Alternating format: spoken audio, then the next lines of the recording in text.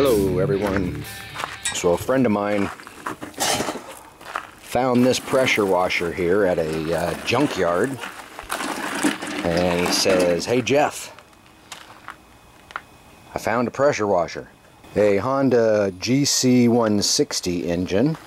So we put gas in it and it actually started right up but boy it was clickety clackety making a lot of noise from the the upper end here so we shut it right down um, it seemed to run good except for that loud noise coming from the valve cover there. I assume that one of the valves is way out of adjustment. Uh, so let's let's take a look. Let's open this sucker up. 10 millimeter of course.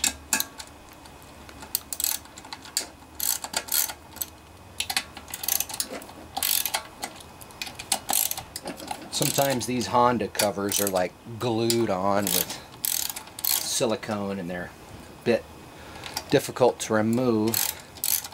So you want to be careful not pry it off and, and bend it and warp it. Because then you'll forever be chasing leaks. Sometimes there's a gasket, sometimes it's just silicone that they use.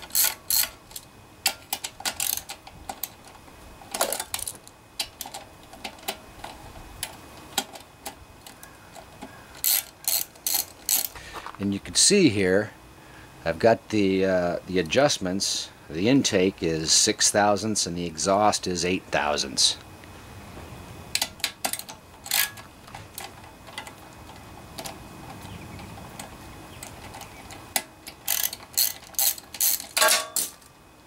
Whoops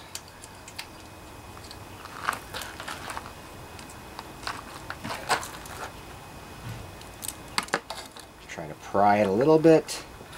And it doesn't want to come so we're gonna have to work that sucker off there real easy. Like I'll show you how I'm gonna do it.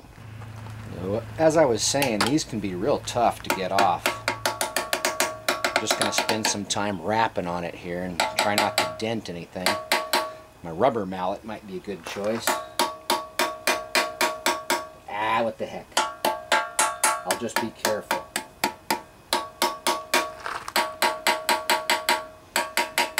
Come on.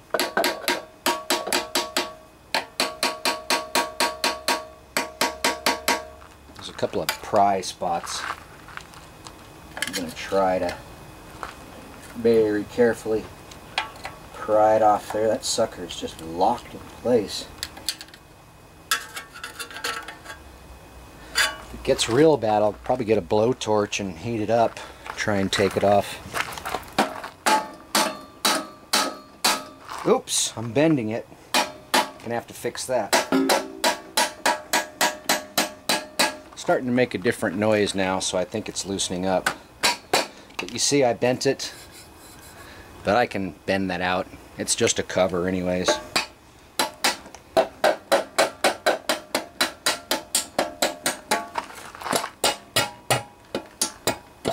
There we go. The Thor hammer did it and dented it. But you can see it is just silicone, so that sucks. I'm going to have to spend some time cleaning all that off. And as far as the inside goes, you can see where I bent it there. It's not too bad. Be pretty easy to bend back into shape.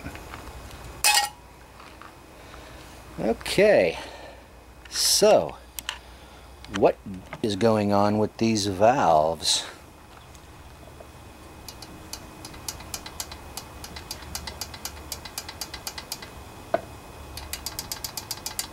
That could be a noisy valve.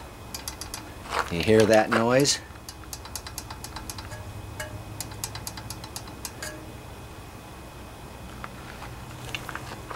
I'm going to slowly pull the uh, pull rope and just kind of work it through and see what's going on here.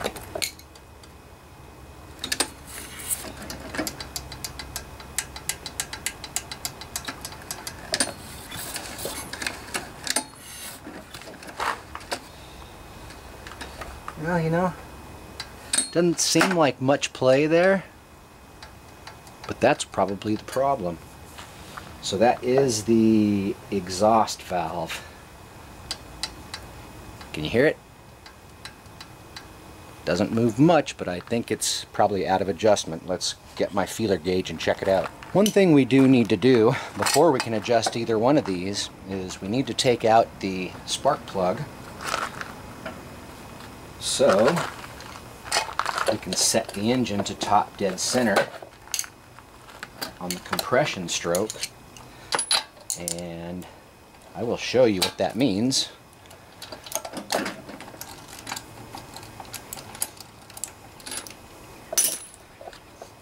So the compression stroke is when the piston is moving up and the combustion chamber is full of gas fumes. And when the piston's at the top of its travel, that's known as top dead center. Yeah, there's a lot of, you see that? A lot of soot on there. A lot of oil inside the spark plug hole I can see too. But anyways, we're going to stick the screwdriver down the spark plug hole. And as it moves up and down, you can see we can see where the piston is at in its travel, how it goes up and then down. So what we want to do is find a downstroke when the intake valve is opening, which when it's pressing down, and that's not it.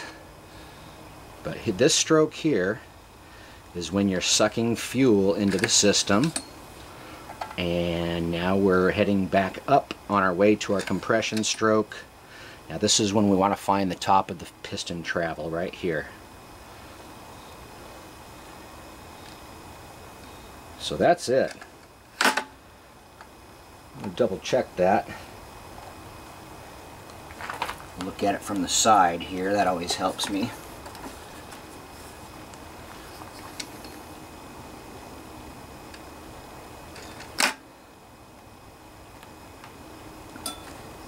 Make sure it's at the very top of its travel. I Don't want to screw this up.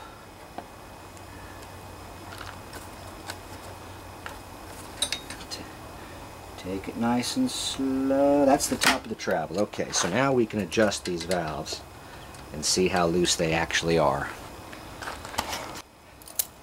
Here's my 8 thousandths feeler gauge here. And I'm just going to... Yeah, it's not super loose, but it's it's pretty loose. And let's see, the Intake is supposed to be at 6.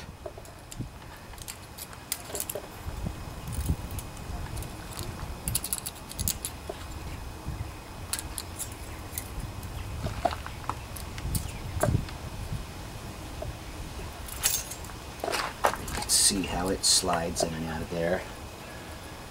Uh, it could use a, a little adjustment, but I do think that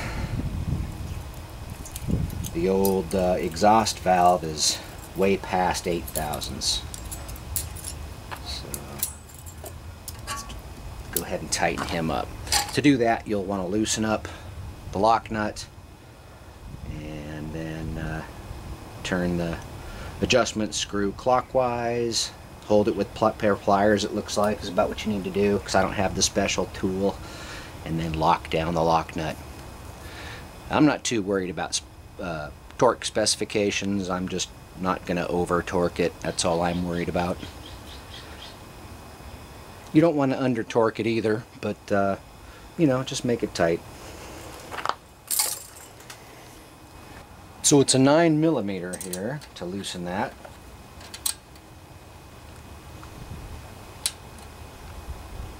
Can actually turn this with your finger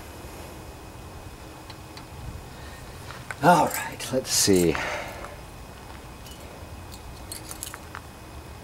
Got my eight, and I'm just going to tighten it until it's a little stiff to get in and out of there.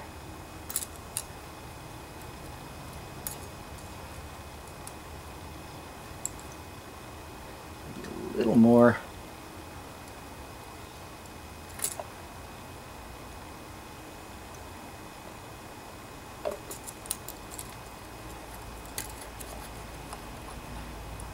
Yeah, I think that's about right. So if I need to, I'm going to hold it in place with this and then tighten it. Nine.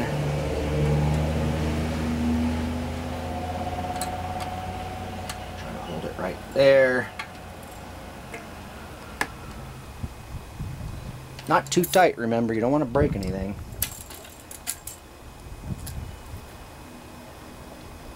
Yeah, I think I need to go a little bit tighter.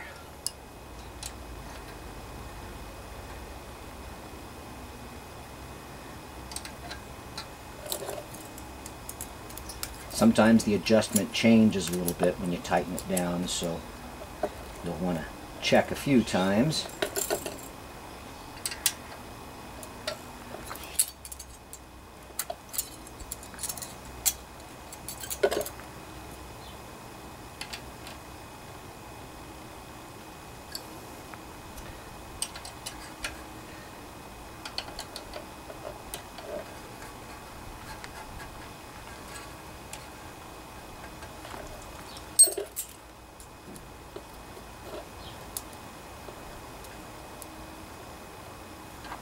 And onto the intake side.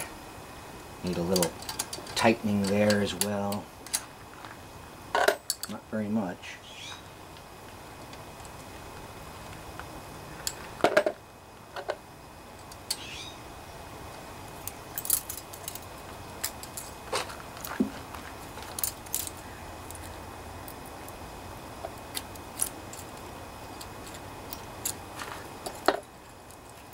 Trying to give you guys a good camera angle.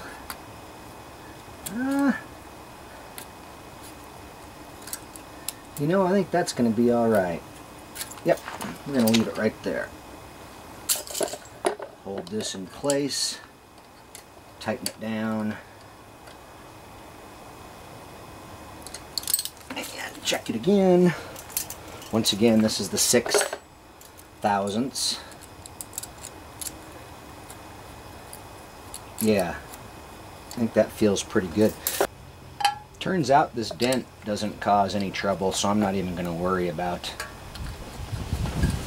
pulling it out. My buddy won't notice. It did come from a junkyard after all.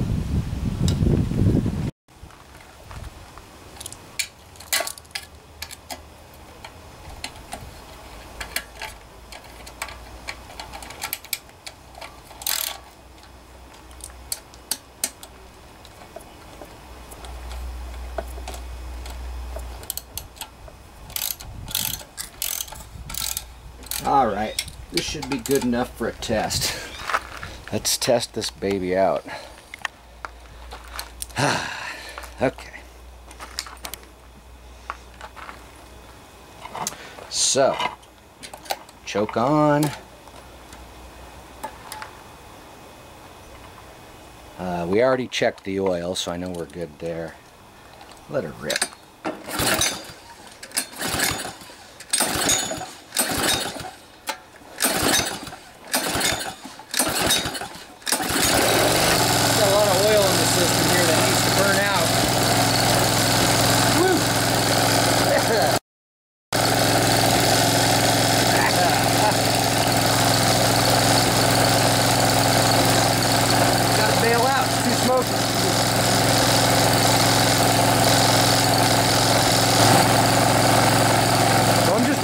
run for a while to clear out all this oil. It was overfilled on oil is one thing I noticed. That's why we're getting all this smoke.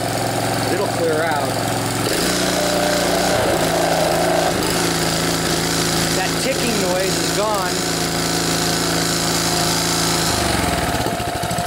Still too smoky. yeah, there was a lot of oil inside this motor. Uh, it was too full of oil and it had been tipped over.